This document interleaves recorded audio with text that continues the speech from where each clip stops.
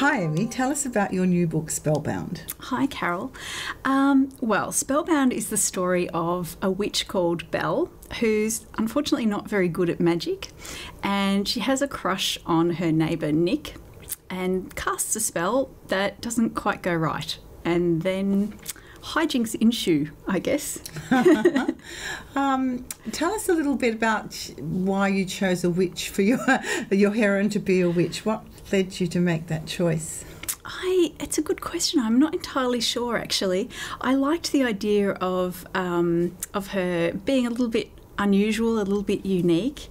Um, but I didn't want to build a whole new world, you know, with different rules. So to me, the fact that she's a witch is not really that important to her character. It just kind of sparks some of the events that happen that, that bring her and Nick together. And allows for magic to go wrong or right. Exactly. yes. yes. Um, okay.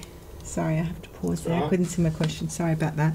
Um, I also thought that, quite apart from the magic gone wrong, I felt that Spellbound is really a good old fashioned love story in many senses with Nick, the gorgeous hero, and uh, did do is that what you set out to write? Yes, absolutely. It is definitely boy meets girl, and and they overcome obstacles to find true love.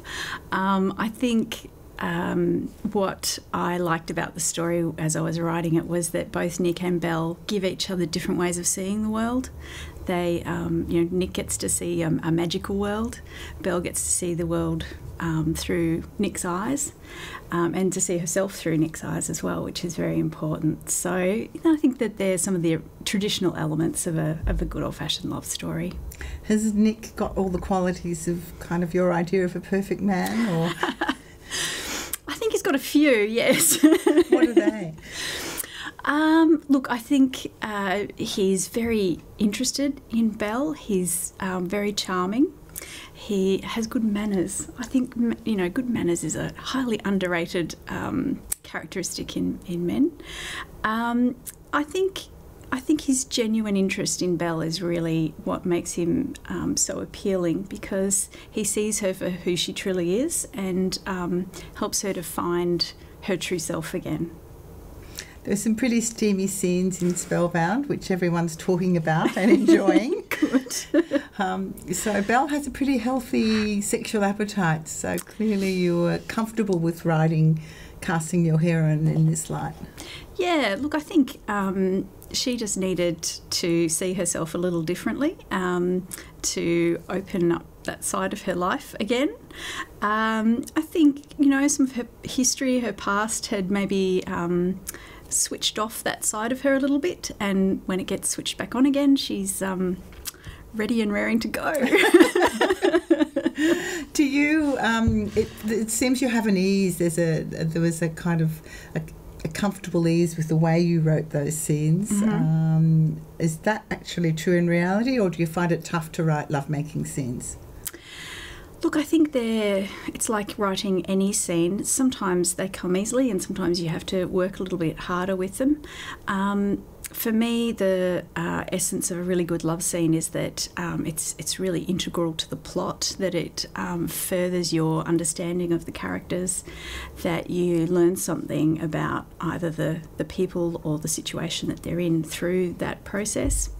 Um, and you know, little bit of spice doesn't hurt either. So, you know, I, I, quite enjoy having books that delve into that, that side of, um, of life. I think um, whenever I read romances that sort of, you know, close the bedroom door and then start again the next morning, I feel a little bit cheated.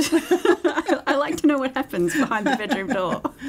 Uh, Belle also has, um, as you just referred to her history, she does have a few self esteem problems, doesn't she? So we meet her at a stage in her life where she's feeling not great about herself. That's right.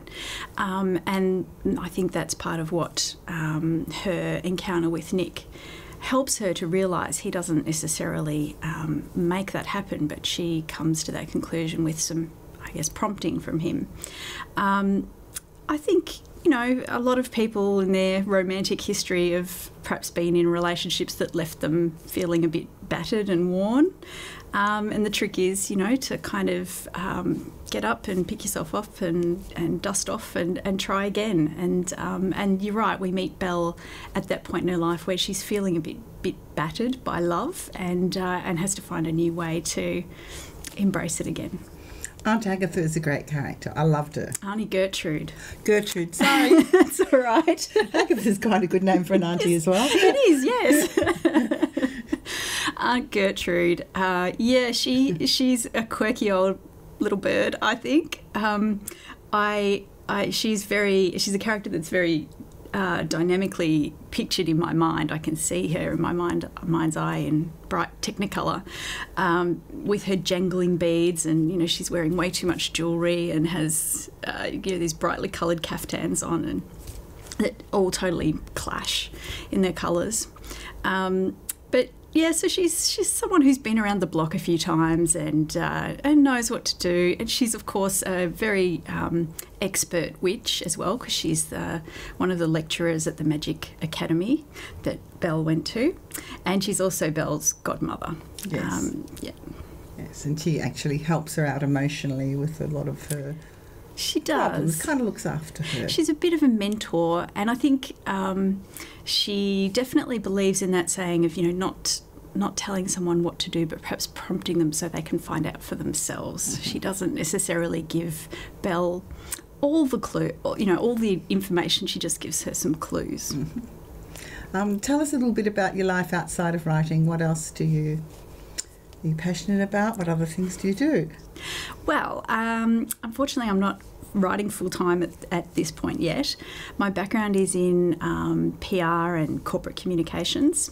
Uh, so I've done lots of writing in my in my career, uh, but mostly, you know, speeches for CEOs and press releases and kind of stuff like that that doesn't have any kissing, let alone spicy sex scenes in it.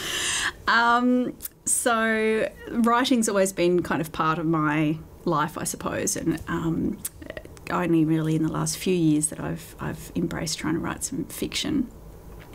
Um, so I'm I'm passionate about uh, about that career. I still very much enjoy it, and uh, and I'm deeply involved in professional associations and, and in training other people and mentoring um, new up and comers in in that industry.